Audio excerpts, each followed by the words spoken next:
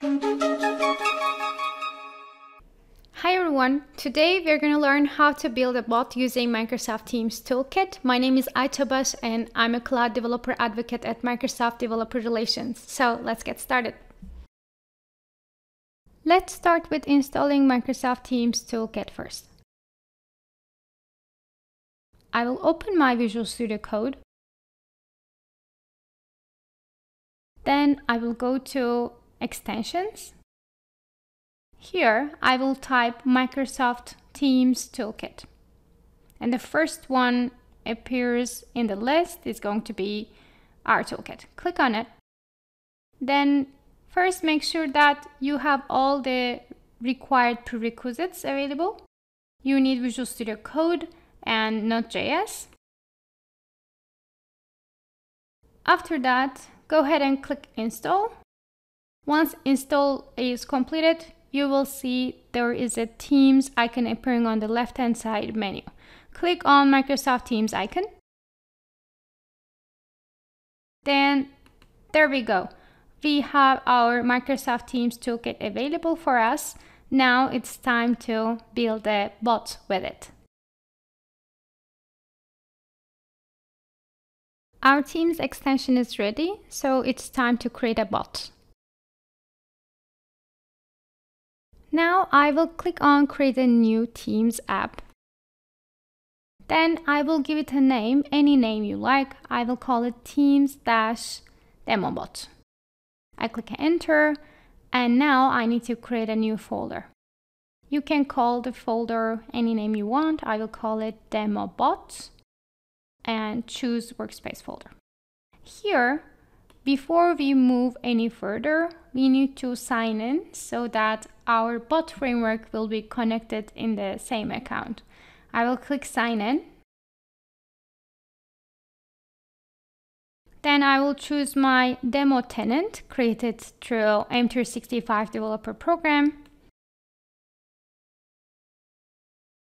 Once I log in, I can choose any capability I want. We can create a tab, bot or messaging extension, for this demo, we will create a bot.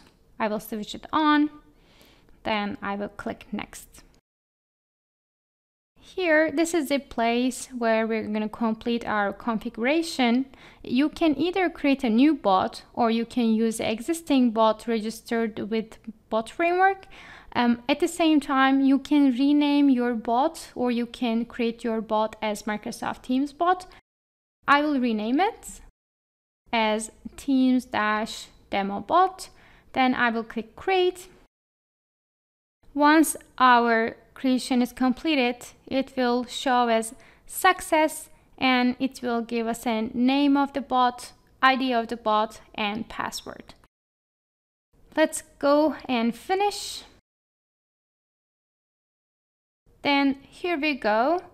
Our bot is available with a great readme file. Before we move forward, let's go ahead and check if our bot is registered in bot framework and if it is appearing in the bot framework page. I will open my browser, then I will go to dev.botframework.com. Make sure you log in with the same account that Uh, you sign in in the Teams toolkit. I will go to my bots. Then there we go. Our bot is available under the bot framework. Let's click to our bot.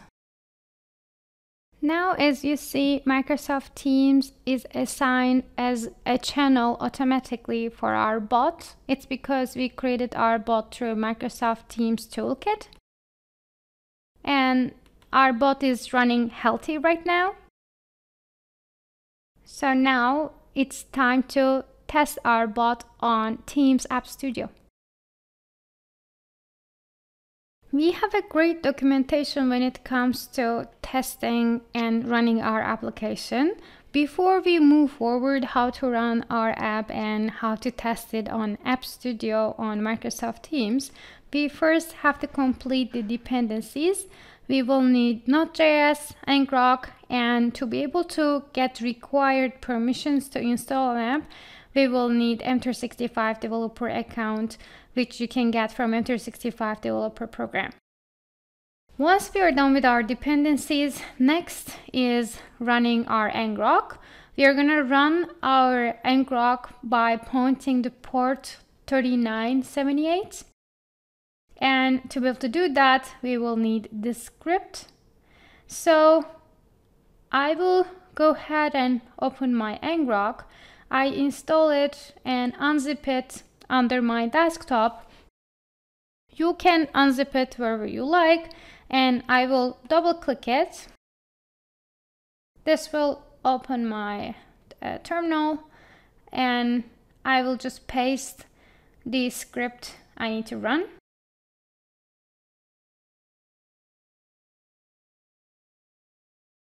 Now my localhost 3978 is forwarded to the following ngrok URL.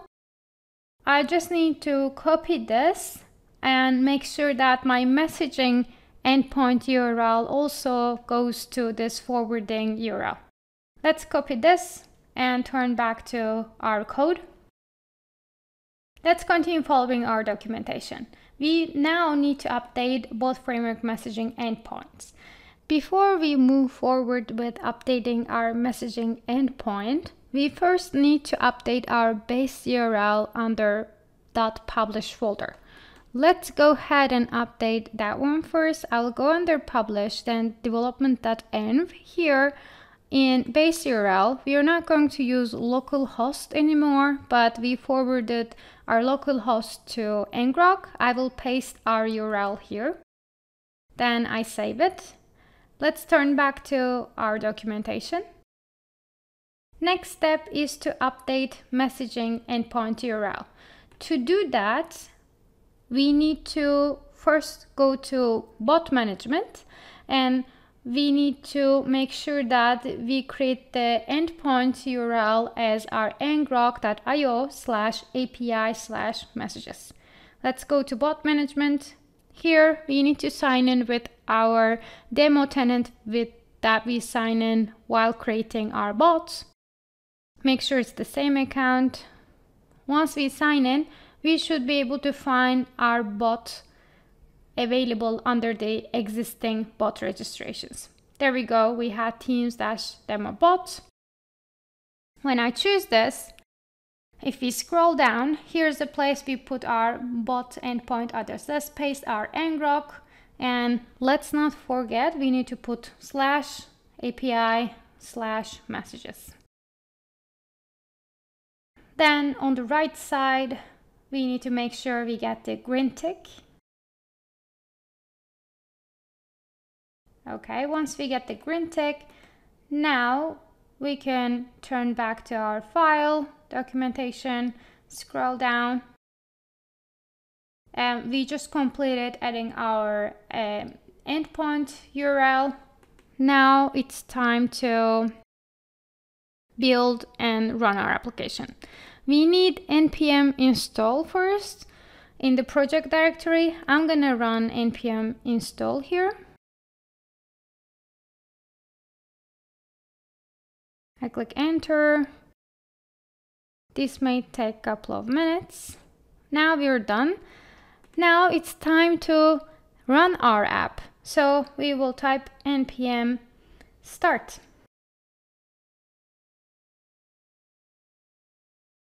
With that, we will run our application under um, localhost 3978 and our ngrok is listening exactly the same localhost URL.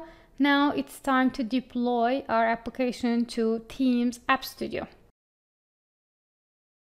So we make sure that we are listening the same localhost uh, from the ngrok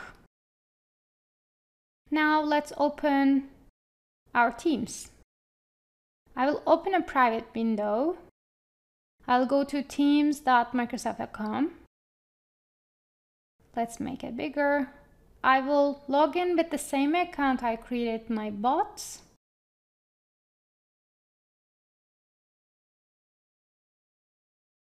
Now Um, we will use web version. Okay, so if you don't have App Studio installed yet, you can go to um, you can click on three dots on the left hand side menu and then you can click more. Here you can search App Studio and you should be able to find App Studio here. If you click it then you can click open. If it is not installed you can click install then it will automatically install for your Microsoft Teams. Next is we will go to manifest editor and we will import an existing app.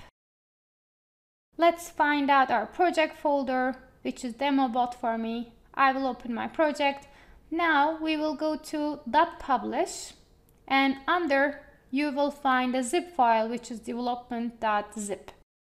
I will select this.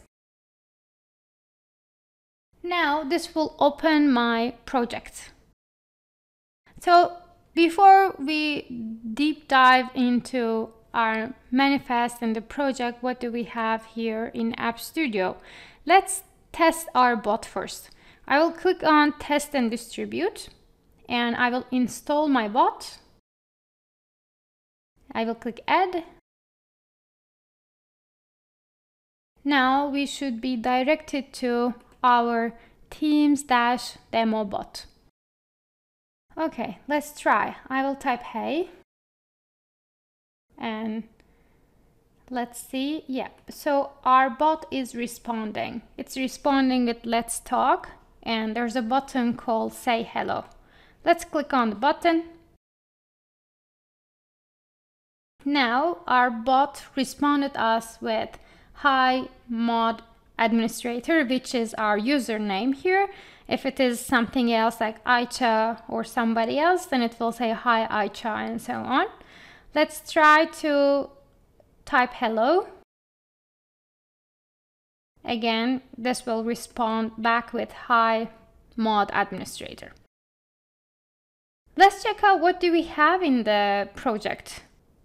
I will go to App Studio again. Open the manifest editor I will find my bot here, teams-demo bot. Let's check out what do we have.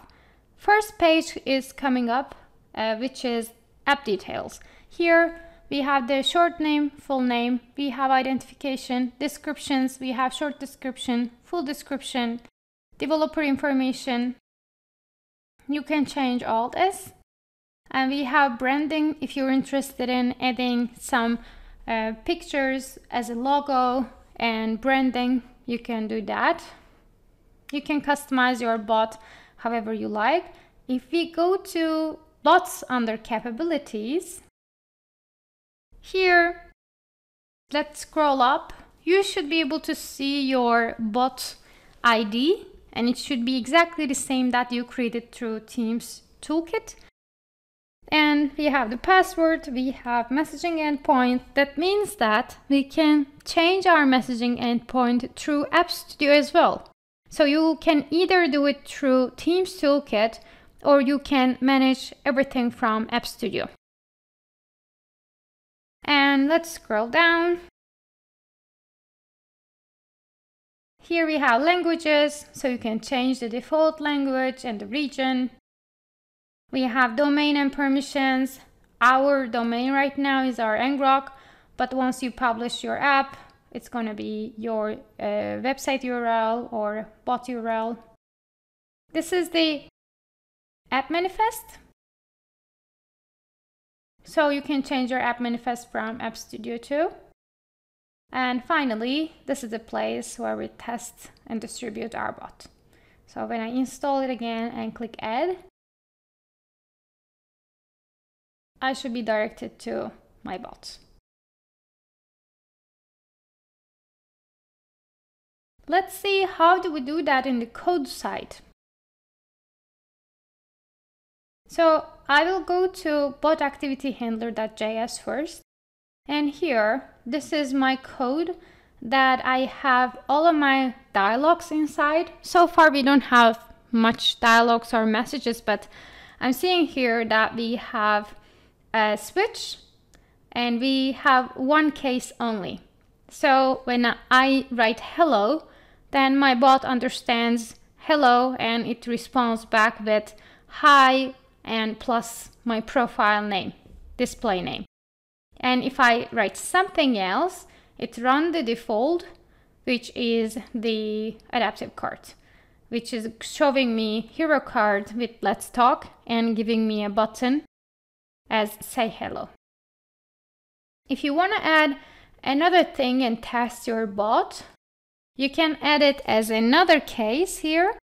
Under case hello, you can add a new case and test your bot if your bot is responding back to new actions as well. And finally, we have index.js, which our bot framework adapters and handlers available here and we are basically reading our app ID and password, which is our bot. And we have our server post running the bot activity handler.